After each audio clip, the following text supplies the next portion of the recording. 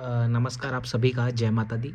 आज हम बात करने वाले हैं गुरु चंडाल योग के बारे में। आज की जो मेरी क्लास है, वो गुरु चंडाल योग की है। सो, आज मैं आपको बताऊँगा कि ये जो योग है, ये सिर्फ़ और सिर्फ़ एक तरह का भ्रम है कि ये नेगेटिव योग है या ये खराब योग है। इससे बड़ा पॉजिटिव योग कोई नहीं हो सकता। इवन गज केसरी से ज़्यादा मैं इसको इम्पोर्टेंस देता हूँ। आपको बताता हूँ क्यों। सो so, आज की हमारी जो क्लास है वो गुरु चंडाल योग के ऊपर है।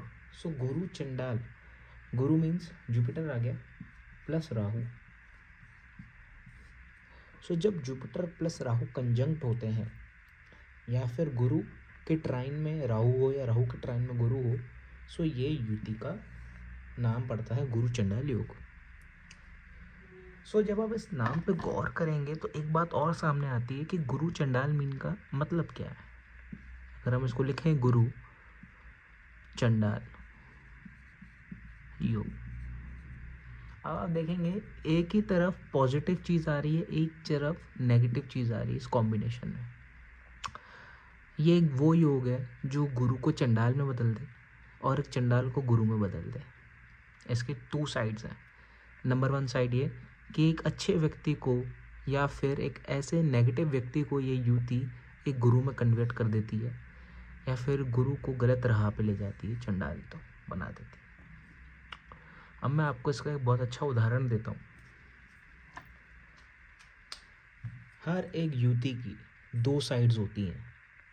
हर एक युति की दो साइड्स होती हैं। इवन वो गज केसरी हो इवन वो गुरु चंडाल हो। जब मैं जुपिटर को लेता हूँ प्लस राहु को एक साथ लेता हूँ सो so, जुपिटर कौन है? जुपिटर है ज्ञान का कारक। किसका कारक ज्ञान का कारक। ये एक ऐसा योग है जुपिटर वो एक प्लैनेट है जो ब्लेसिंग्स का भी कारक है। और राहु को हम मानते हैं ऑब्जर्वर द वन वो observes well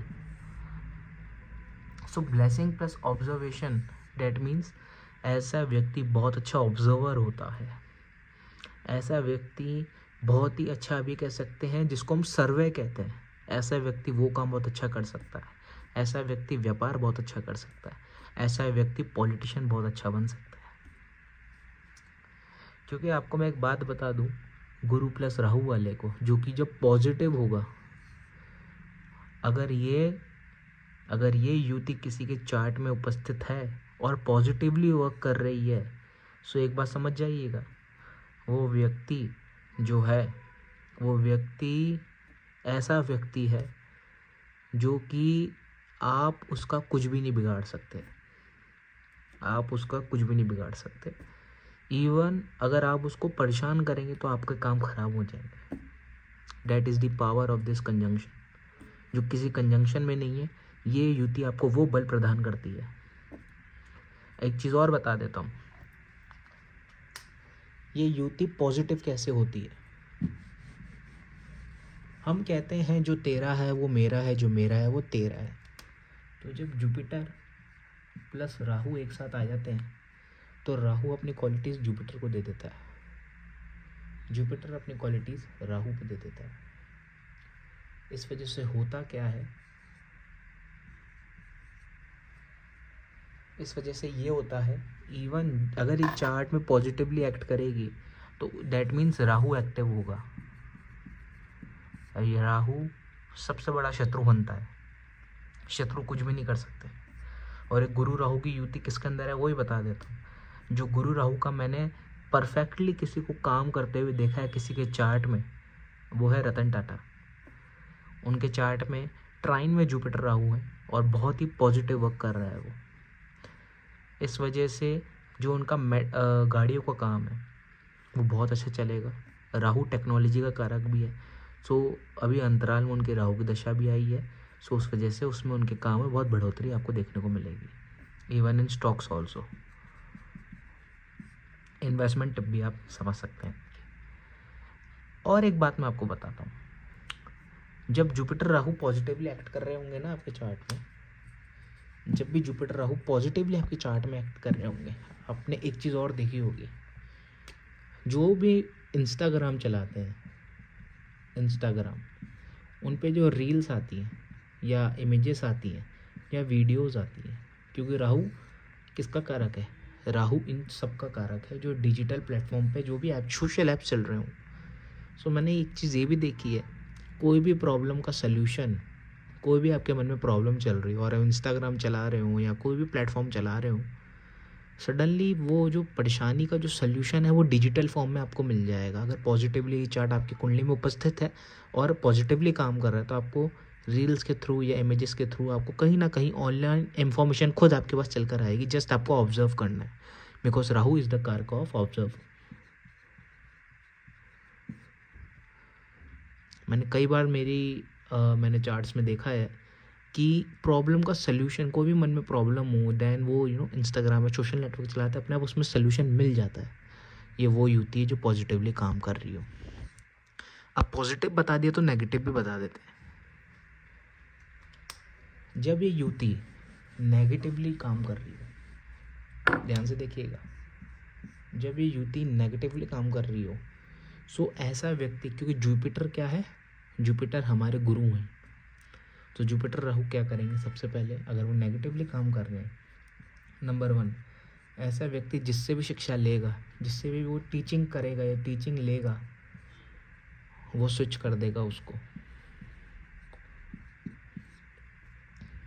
वो बोलेगा बेकार पढ़ाया ज्ञान ले लेगा। ज्ञान लेने के बाद वो बोलेगा, नहीं यार दूसरी बात, ऐसा जो व्यक्ति होगा, वो क्या होगा? ऐसा व्यक्ति खुद को तवज्जो देने वाला होगा, सामने वाले को नहीं। तो आप एरोगेंस भी कह सकते हैं। और तीसरी और आखिरी चीज़, ऐसा व्यक्ति जल्दबाजी में डिसीज़न लेगा और जो भी डिसीज़न लेगा, सारे फेल जाएँगे। यह है नेगेटिव प्रभाव। अब इसकी रेमेडीज़ मैं आपको बता देता हूँ, इसकी रेमेडीज़ क्या है? क्योंकि इस युति से हमें यह समझ आता है कि हमें इसमें जो बल देना है वो राहु को देना है।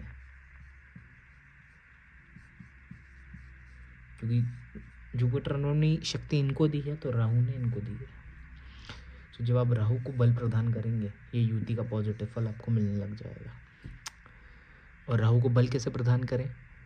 डिजिटल प्लेटफॉर्म्स पे। आप कोई भी फ़ील्ड में हो कोई भी फ़ील्ड में हो, जिस फ़ील्ड में आपको एक्सपर्टीज़ हो या आप काम कर रहे हो, उस फ़ील्ड के जो भी सॉल्यूशंस हैं, वो ऑनलाइन पोस्ट कर दीजिए। ये राहु गुरु की सबसे बेस्ट है, क्योंकि गुरु है सोल्यूशन का कारक। वो सोल्यूशन जो आपको प्रॉब्लम से मुक्त कर दे, और राहु है डिजिटल प्लेटफॉर्म का कारक। अगर आप इनको ऑनलाइन आप कोई भी आपकी नॉलेज में, कोई भी आपकी नॉलेज हो स्टॉक मार्केट की टिप्स हो गई हेल्थ के लेकर कोई टिप्स हो गई डाइट को लेकर कोई टिप्स हो गई आपने कोई एग्ज़ामिनेशन दिया है उसके तहत आप कुछ भी पोस्ट कर सकते हैं कि इस एग्ज़ामिनेशन के लिए ये यू नो सपोर्टिंग मटेरियल है। सो so, कुछ भी आप ऑनलाइन ऐसा योगदान दे सकते हैं। गुरु राहु की युति परफेक्टली आपकी कुंडली में। अगर उपस्थित है राहु प्लस जुपिटर का आपकी कुंडली में कंजंक्शन है नेगेटिवली काम कर रहा है तो ये आप काम कर सकते हैं आपको बहुत फ़ायदा मिलेगा।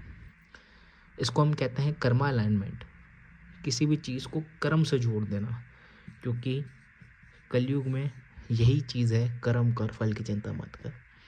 होप आपको वीडियो अच्छी लगी हो। वीडियो अच्छी लगी हो तो लाइक करिएगा, कमेंट करिएगा और कमेंट ही कर ये भी बताइएगा अगला टॉपिक किस पे आए होप आपको वीडियो अच्छी लगी हो।